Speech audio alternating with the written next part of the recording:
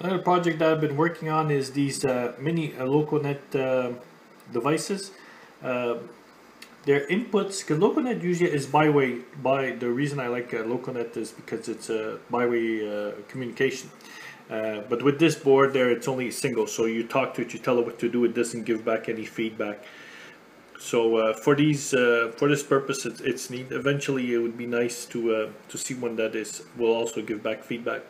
Uh, this is, was designed by, uh, I'll put a link in the in the comments below, uh, Geert Giebens. So uh, he did a little perf board, but I created these little circuit boards because, like I was saying before, is uh, with the company uh, J JCP JLCPCB. You know, five dollars, you get ten boards. In this case, you can put about eight or ten of these boards on a hundred by hundred centimeters. So you know, you end up getting uh, fifty boards or more.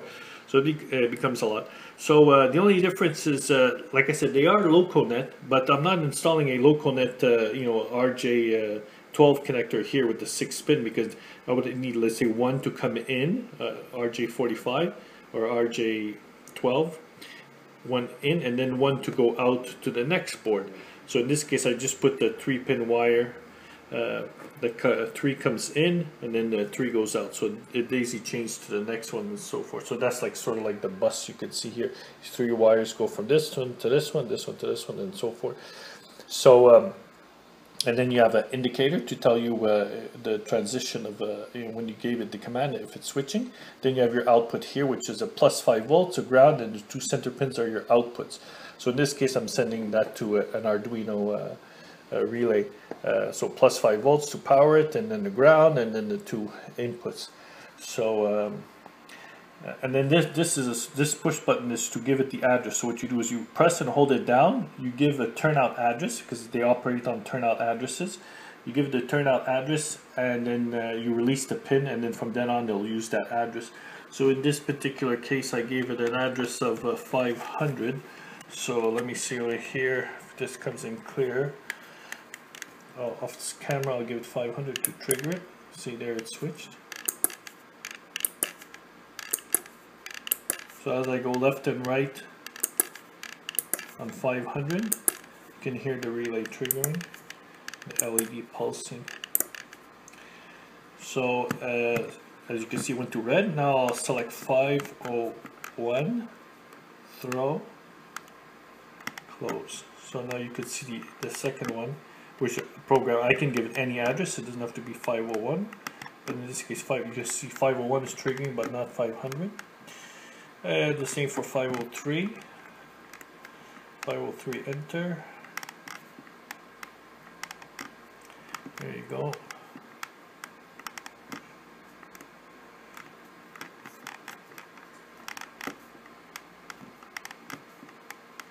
And we'll go 504. 504. Oh, and we got one hidden here, 505.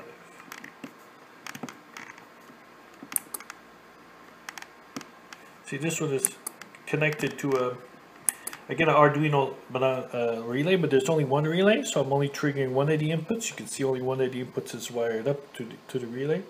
So that's how that's uh, wired up.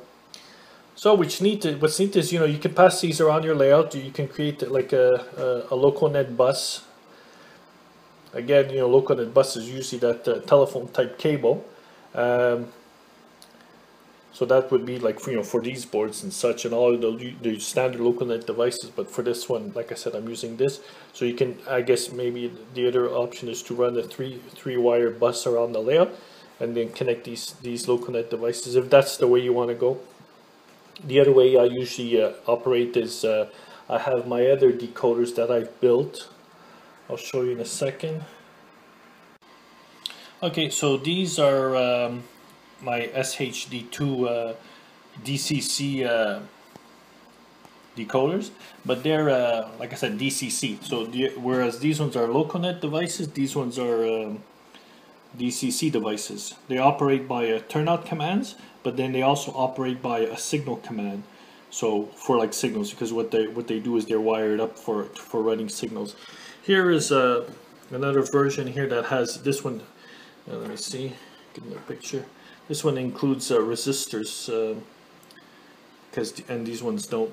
The reason is because uh, when you use these signal masts from uh, Digitrax, they have built-in resistors over here.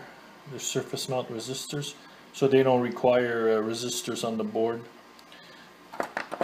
But if you're going to wire it up to uh, your own LEDs, you'll need some resistors. So I have a version here that I added the resistors.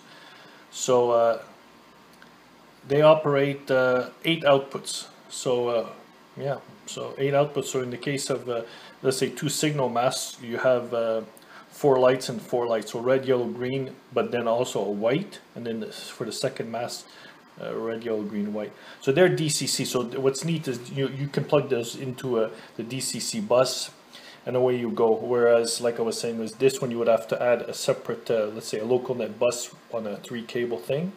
So, um, and then the thing is that this one gives out uh, two outputs. It has a LED to tell you indicator here, and then it's very easily to to uh, give it the address is uh, you press the button to hold it here.